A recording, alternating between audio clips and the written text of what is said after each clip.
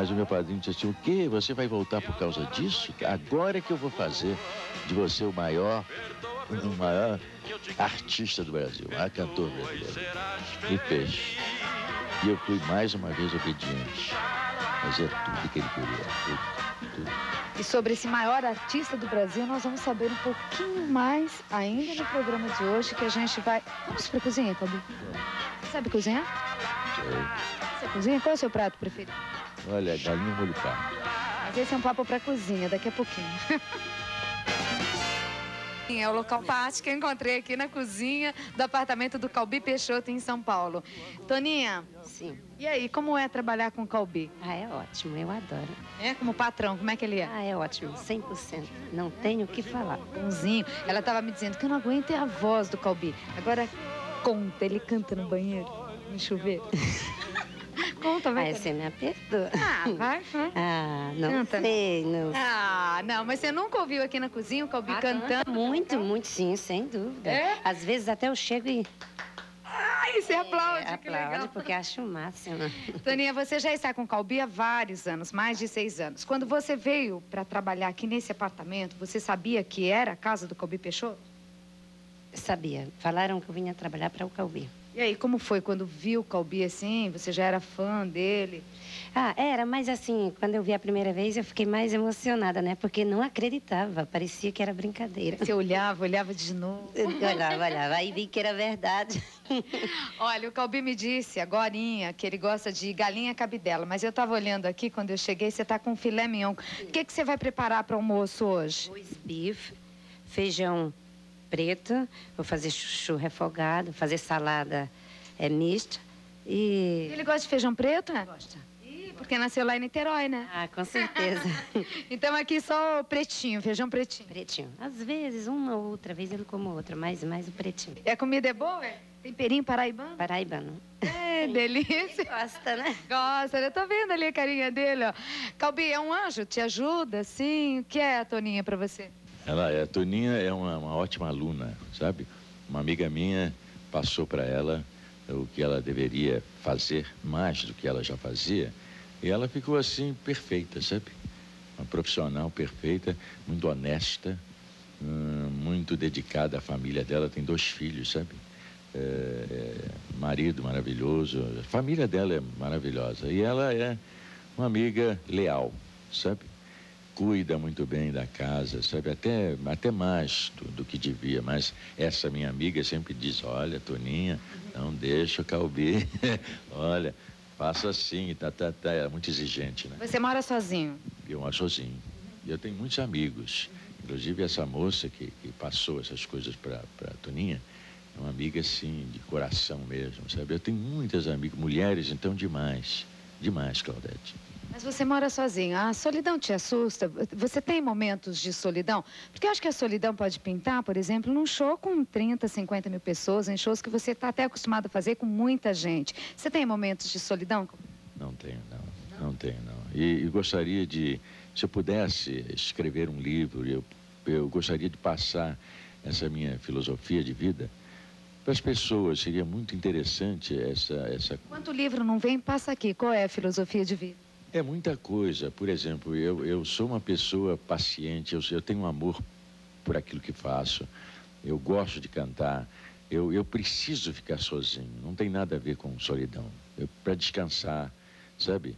Eu preciso estar sozinho para meditar, para concentrar, sabe? Eu sou esotérico, sabe, Claudete? Acredito muito nas forças do, do, do espaço e tal, na luz que eu recebo na hora que estou no palco. Eu acho que de repente eu mudo, sabe? Começo a viajar cantando. Parece até que eu estou drogado, mas não é não. A música me leva a esse estado, sabe, de espírito. Eu vi uma Nossa Senhora lá no criado mudo do seu quarto. Desculpa, eu dei uma entradinha assim, nem uma olhada, né? Qual a sua relação com a religião, com Deus, com Nossa Senhora? É muito boa, tem sido muito boa. Eu tenho a sorte de, de, de conservar a voz que, que ele me deu, né? Tenho a sorte de ter fé, ter fé. Aquela Nossa Senhora eu guardo, sabe? Eu olho para ela e peço, entendeu?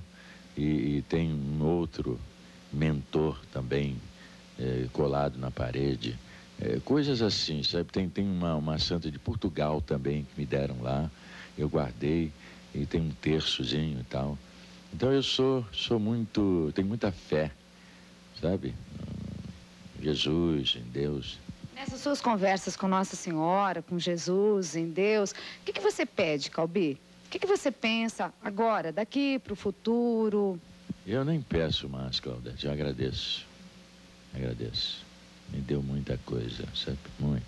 Eu sou uma pessoa muito feliz, muito mesmo, creia. Sou mesmo. Dá para dá se ver, não dá?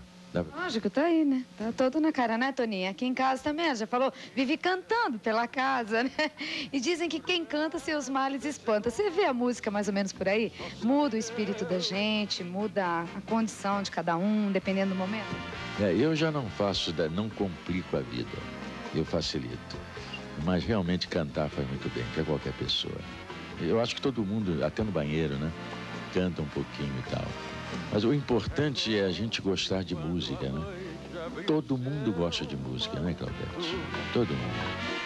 Então, uh, eu fico muito feliz com tudo. A única coisa que eu, meu hobby, que eu gosto, que eu amo, é cantar.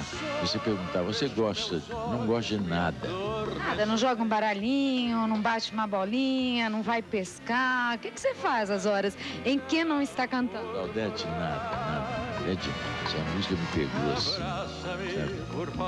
É, e não deixou mais nada dele. Realmente não, não gosto. E você viajou pelo mundo todo, praticamente, né? Foram muitas as cidades, países, locais diferentes. Tem uma casa no Rio de Janeiro, mas tem uma casa aqui em São Paulo, não sei se em outro lugar. Qual o lugar preferido para você? O lugar mais bonito, um lugar que marcou? É Brasil mesmo, sabe? Qualquer lugar do Brasil. Eu gosto, adoro o Nordeste, adoro o Sul. Enfim, o Brasil, adoro. Aqui é tudo é melhor. Aqui eu sou um ídolo maior, né? Aqui eu tenho uma carreira, aqui eu tenho família ainda, aqui eu tenho é, essa, essa coisa generosa do brasileiro de às vezes até permitir que a gente desafine numa música e tal, e eles estão lá aplaudindo. O, o povo canta, sabe cantar. Né? É, os shows que eu tenho feito são maravilhosos, sempre público fiel, conservador também, né? Então eu amo o Brasil por isso, porque nós somos sugênios, né, O povo mais diferente que eu já conheci no mundo. Bom, e para esse público brasileiro, ele tem um guarda-roupa inacreditável. São quantas peças de show, assim, de roupas? Eu vi aqui um pouquinho que eu vou mostrar para você depois. Dizem que no Rio de Janeiro, nossa, lá então é de babá, né? Atenção, Calvin. Tem, tem muita roupa, não sei dizer quanta. Eu tenho baús na casa da, da minha irmã, assim, enormes, que eu guardo as roupas, que eu, eu mantenho esse, esse, esse, peso, esse corpo assim, magrinho, já há muito tempo, né? Então as roupas, de vez em quando eu ponho uma roupa assim, que era antiga. Serve. É, e serve para hoje. É. Nossa, isso é um luxo, é demais, né?